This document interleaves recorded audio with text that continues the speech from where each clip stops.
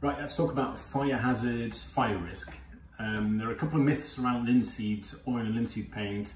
uh, where people say that it is uh, dangerous um, or the paint itself doesn't contain any solvents, VOCs, drying agents, uh, nothing that is actually flammable. So the only thing that can happen is because linseed paint dries by oxidization, so it tries to draw out oxygen from the air, is that any rags soaked in linseed oil uh, could spontaneously uh, self-combust. Now, a very simple way to deal with that is if I show you, so we've got like a, just a stirring stick here that I'm going to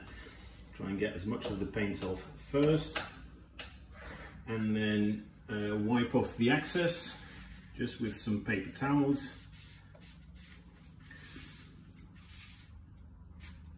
And all I'm doing now,